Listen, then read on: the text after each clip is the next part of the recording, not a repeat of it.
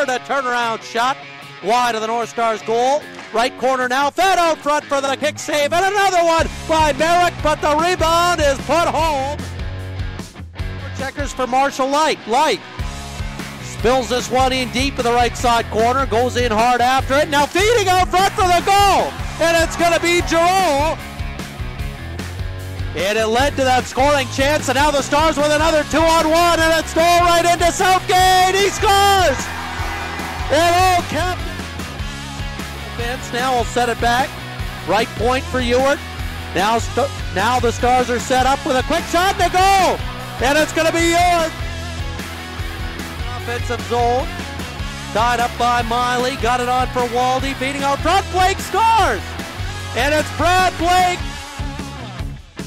Back to the full shot electric power play. In the corner, Southgate out front for Bill. A shot to goal. And it's going to be Kean Bell. Miley settles it down now to run Key at the top of the right point.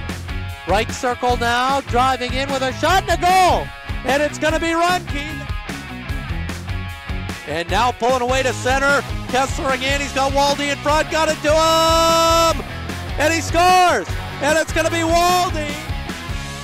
40-39 in favor of the Stars. And two minutes of four on four to come. Now on a shot and a goal. And it's Gold striking Gold.